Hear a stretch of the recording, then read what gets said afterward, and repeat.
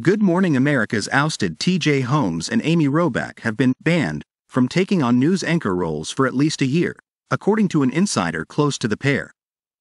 The source exclusively revealed to the U.S. Sun that the coupled up co hosts are bound by their exit agreement with ABC, which blocks them from taking on news presenter jobs for a set amount of time.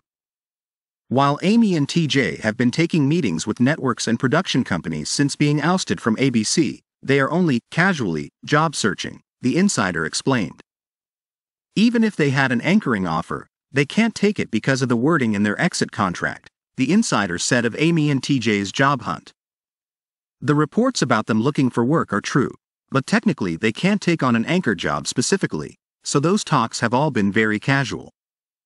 The insider expanded that as part of their exit talks with ABC in January, Amy and TJ had to sign agreements in order to get their settlement money, which included being paid out through the end of their contracts.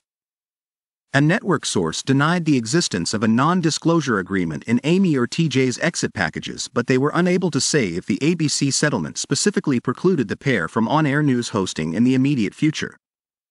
While the couple technically can't take an anchor gig anytime soon, they have reportedly been on the hunt for other non news related jobs, like a reality show or a talk show. They have even tried to land a spot on Dancing with the Stars, according to Radar Online. However, while the insider confirmed Amy and TJ had set their sights on the coveted celebrity dancing show, it is an ABC production.